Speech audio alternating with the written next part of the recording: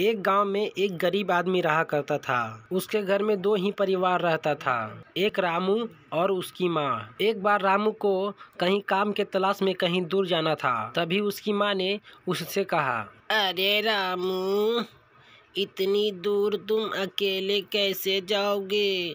तुम ऐसा करो कि किसी को अपने साथ में भी लेकर जाओ। तभी रामू ने बोलता है अरे माँ तुम पागल हो गई हो क्या? हमारे परिवार में और है कौन? आप हो और मैं हूँ। फिर हम किसको अपने साथ ले जाए रामू ने अपने घर में एक नेवल पाल रखा था और रामू उस नेवल को अपना भाई के तरह मानता था।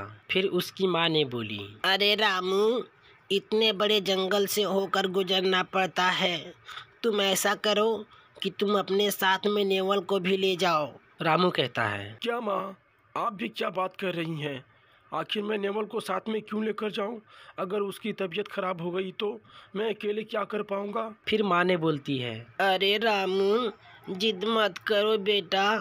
अपने साथ में तुम इस नेवल को ले जाओ। देखना किसी ना किसी समस्याओं में ये तुम्हें ज़रूर बचाएगा।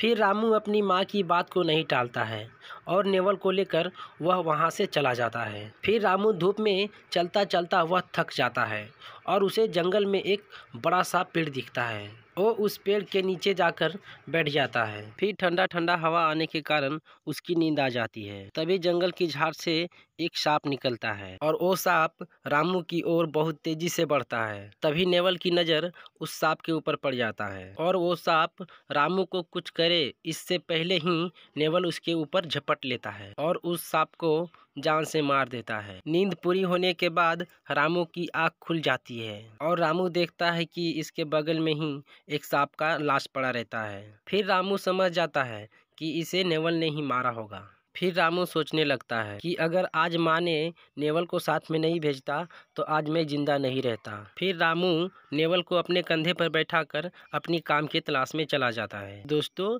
इसीलिए कहते हैं कि माँ की बात टालने से पहले एक बार सोच ले, क्योंकि माँ अपने बेटे की कभी भी बुरा नहीं सोचती है। तो दोस्तों, कैसी लगी हमारी कहानी? कमेंट बॉक्स में ज़रूर बताइएगा और चैनल को सब्सक्राइब कर दीजिएगा।